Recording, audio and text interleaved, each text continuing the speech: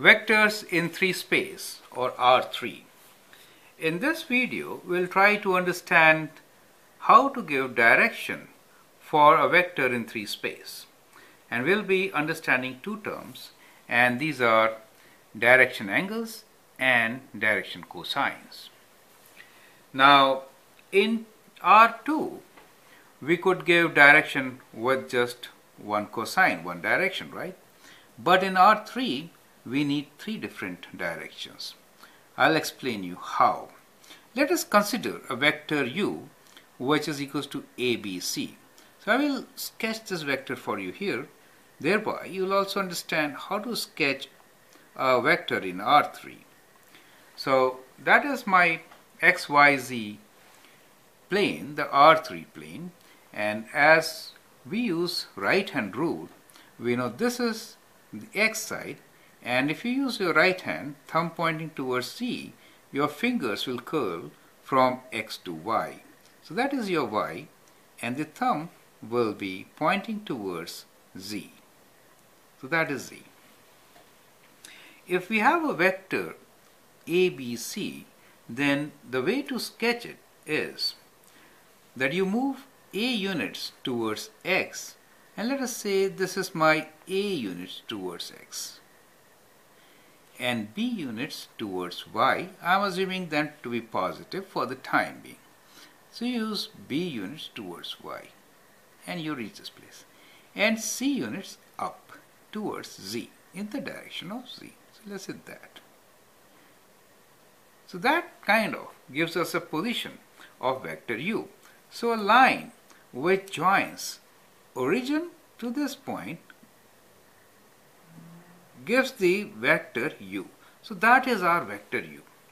Now we can always find magnitude of this vector by saying a square plus b square plus c square square root, right?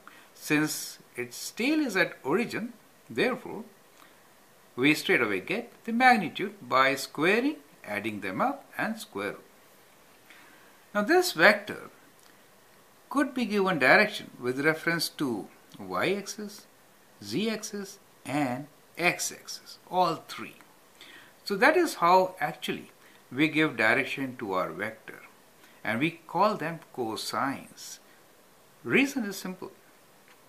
Reason is, let's say that we are, you can see here very clearly, this is my vector. If I drop a perpendicular to y-axis, then that angle let's say that is one of the direction with y-axis which it makes. And my vector is u for the time being. Then the component of the vector along this will be u cos of this angle. Do you see that? So if I have to find the direction I can find with the help of cosine. Do you see that? So that is the basic concept and we'll use this and define our direction cosines just in a moment. Now, let me complete this part of sketching of a vector. So, another thing which we realized is with some students I find still having difficulty is to sketch this. So, when we complete this, we say this is x which is a units towards x, b units towards y. Let's complete this rectangle on xy plane correct? So we have a rectangle here and from every point we can go up c units that is along z axis right? So when you go up from here you come to this point we can join it. I'm trying to join and similarly we'll go up from here right? And we will join it. Similarly we'll draw this parallel figure right there and join. So we make a rectangular box. Now I think you can appreciate 3D effect. Do you see that? So that is our vector which is vector u ABC. The purpose of making this rectangular box there is to show you the 3D effect. Now when we have to give directions to this vector then we are referring to its angle with x so let me say with x which is let's say this angle with x we call this angle alpha with y, that angle, we call this beta. And the angle with z, we call this angle gamma. So these three angles are the direction angles for our given vector, right? And these angles are called alpha, beta and gamma. Direction cosine is cosine of these angles. So cosine of these angles will give direction cosines, correct? Let me summarize this here. So what we have done so far is we consider a vector u which has these components a, b and c. Remember, these are called components of your vector, right? So these are components. This is early stages. Let's get used to the terms. So A, B, C are components, right? In our context, we also call them direction numbers.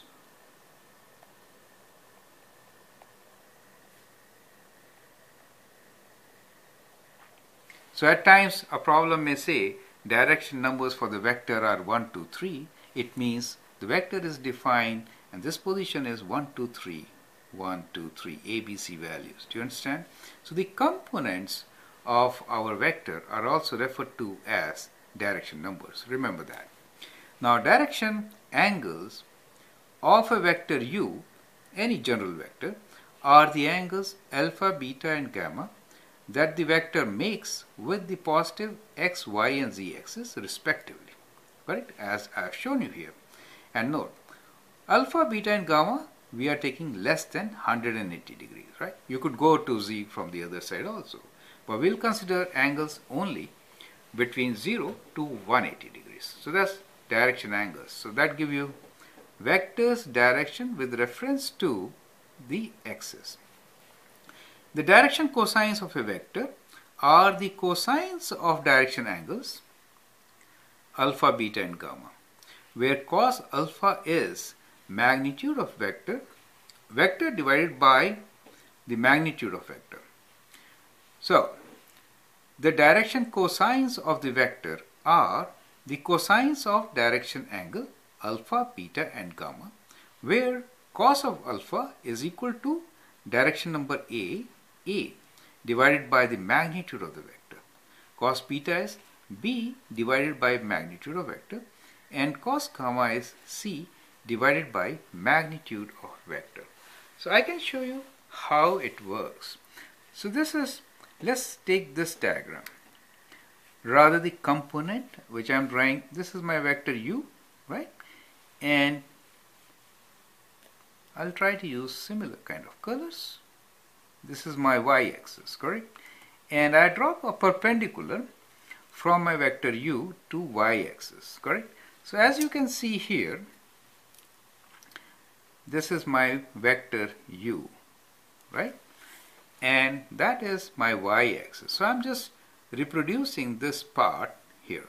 And the angle which the vector makes with y-axis is beta. Now, the length of the vector is the magnitude of the vector. Is that okay?